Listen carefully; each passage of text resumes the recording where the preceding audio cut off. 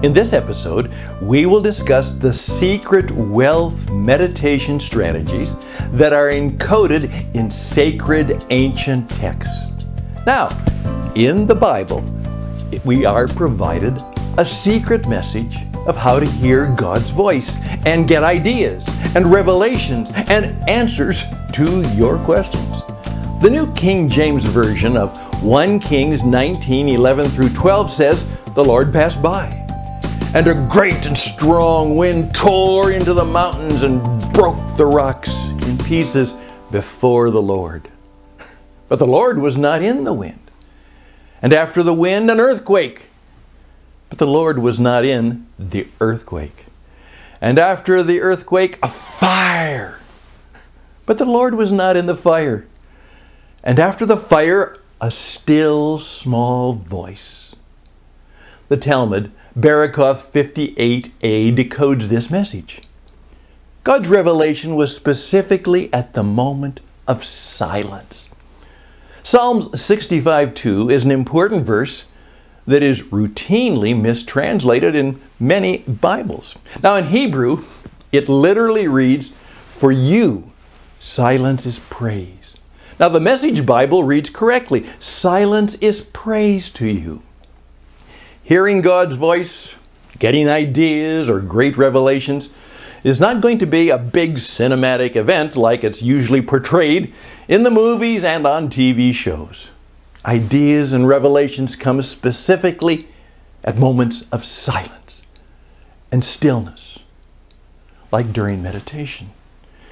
In the Talmud, we learn that the sages would be still one hour prior to each of the three prayer services, then pray for one hour, and afterwards be still again for one hour more. That's Bereshit 32b. Now, a variety of approaches to meditation exist, and therefore select one type of meditation that you find appealing and practice it daily. Now, some of the major methods of wealth meditations and connecting with God that can be practiced on a daily basis include number one, chanting wealth verses from sacred ancient texts. One very powerful Bible verse is Deuteronomy 8:18. God gives the power to get wealth. Now, quiet repetition or chanting of Deuteronomy 8:18 is a good daily meditation practice. Now, this meditation is based on Proverbs 23:7. Number 2, prayer, asking God for wisdom, followed by complete stillness and silence followed by another request for wisdom, followed again by stillness and silence. Now, this meditation is based on 1 Kings 3 7 through 14. Number three, a special practice of calling attention to the divine presence by focusing upon a shiviti, a special Jewish artwork style that includes the tetragrammaton, which helps induce a mystical state of consciousness. Now, this meditation is based on Psalms 16:8. Number four, focusing simply on deep breathing and gratitude for life. Yeah. Sacred ancient text teaches that whoever has gratitude will be given more, and they will have an abundance. By focusing on the simple blessing of having the breath of life, you can receive more. Now, this meditation is based on Matthew 13 12. Number five, setting an intention to become wealthy and sitting silently with it based on Proverbs 4:23 by sitting silently with that intention you allow ideas to come to you or what actions to implement to uh, make that intention an accomplishment number 6 guided wealth visualizations and focusing on an image of one's desired state of wealth. And this meditation is based on Proverbs 4:23.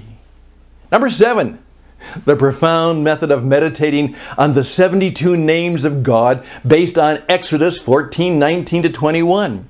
It is a branch of the Kabbalah concerned with connecting with God, giving one the power that people connected with God should have as did all great spiritual leaders. Jesus states in Luke 10 19 of the King James Bible, Behold, I give unto you power. The secret to why these wealth meditations, taken from sacred ancient texts, really work is that they all include some form of repetition and keeping God in consciousness during meditation. Repetitive meditations based on science, and we already know that with enough repetition, behaviors become automatic. Driving and riding a bike are examples of uh, complicated behaviors that we do automatically because neural pathways have formed. Now, as you practice wealth meditations, you are training your brain to create new neural pathways related to wealth creation. Mm. With repetition, the pathways get stronger until the desired outcome is the new normal. God's presence is often not accessible to us unless we make a practice of cultivating that awareness through meditation. Psalm 16:8 of the ESV says, "I have set the Lord always before me."